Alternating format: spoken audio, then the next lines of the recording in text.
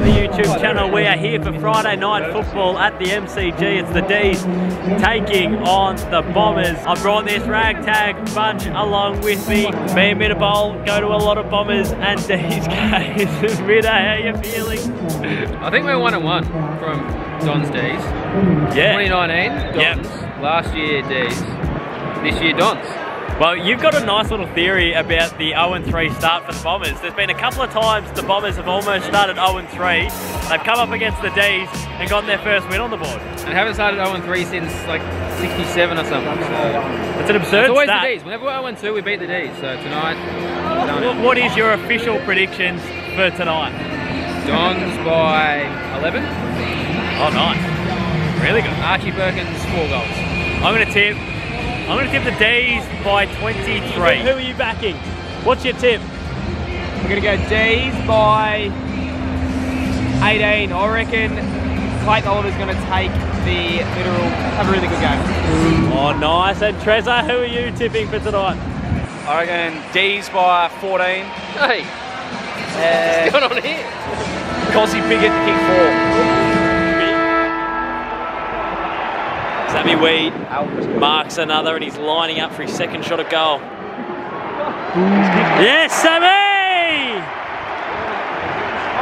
It's got to be good for a man's confidence. Taking a couple of marks, couple of shots on goal, and he converts his second one. The D's are up by seven points early in the first. Quarter time here at the MCG. The D's are up 3-5, 23 to the Bombers 0-4-4. Scrappy affair. It's very windy here at the G. A lot of skill errors.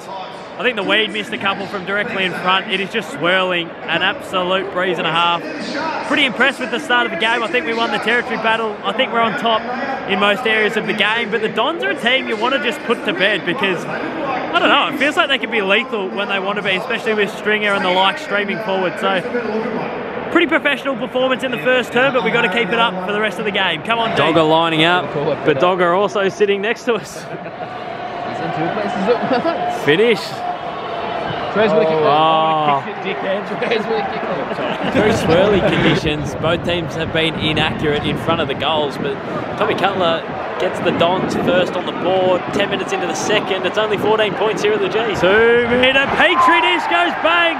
The Bombers have two in a minute. Two metre goes bang, and the Bombers are back within eight points. Tom Sparrow kicks this, I feel. Tommy from 45. Get around him!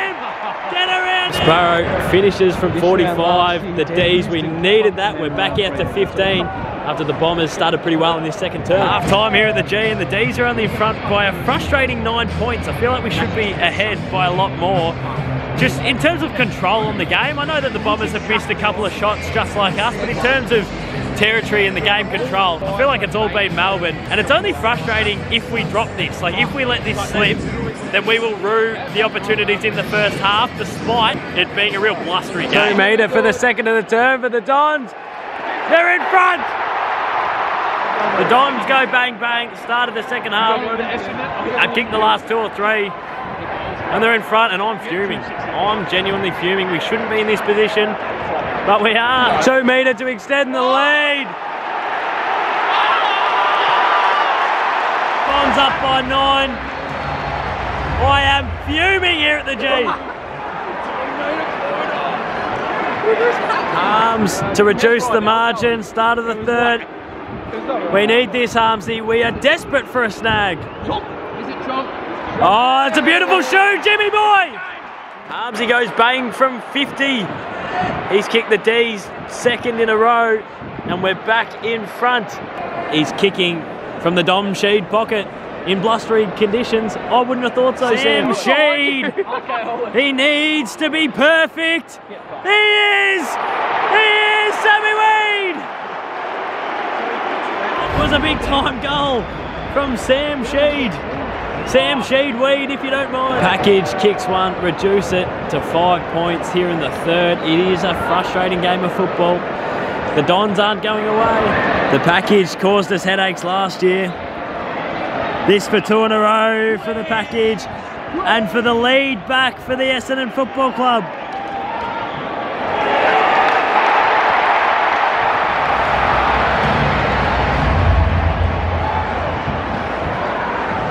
This is humbling. This is very humbling. Oh, I hate it. I hate every bit of this. Come on, Weed. We need this.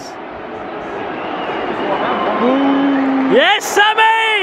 Three quarter time, chilly conditions here at the G. The D's are up by 13 points. It's not over. The Bombers will come home with a wet sail. It's going to be one of those just messy sort of last terms where we're just going to try and suppress it, try and defend as hard as we can. Hopefully we can kick a couple just to put it without doubt, but yeah, it's going to be one of those terms where we're just going to have to knuckle down and get the job done. I think Sammy Weed's been really good for us. He's been a, a likely target with Benny Brown out, so I've enjoyed his work.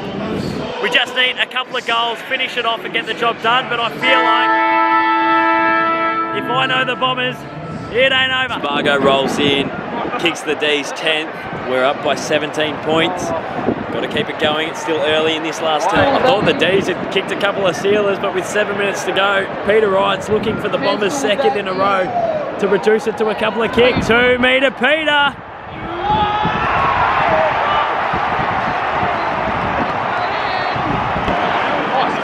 The Bombers, it's 12 points. It's, it's 12 points. It's 12, 12 points.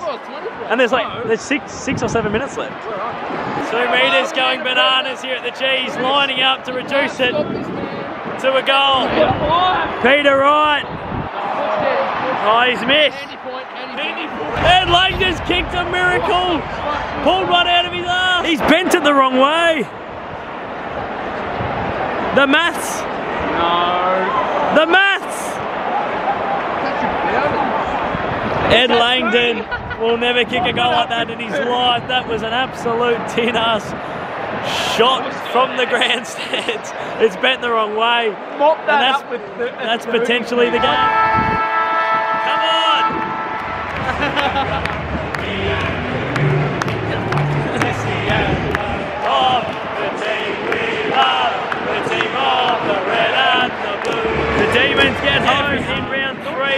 to go three and zip to start the season.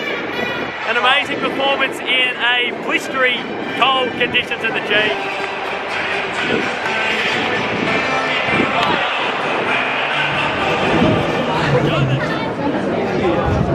Another day, another day, another dollar. Uh, they got the they got the chockies, the boys. They got the job done. We've, we've taken Luke McDonald home with us tonight. Uh, Luke McDonald, Luke Jackson, Jackson. Jackson. Luke McDonald's in McDonald career. plays in North, doesn't he? Oh, he does. He's, he's in career best form though. Um, yeah, jeez, bit chilly, bit chilly conditions. Oh. nah, it was alright. Yeah, we got there in the end. We better sign off. Great dub by the boys in the cold, wintry conditions at the MCG. Um, the spar after this, I would have thought. Yeah, I would have thought. We'll get nice and warm. I appreciate everyone for tuning in. I appreciate everyone watching. And we'll see you all very, very soon. Cheers.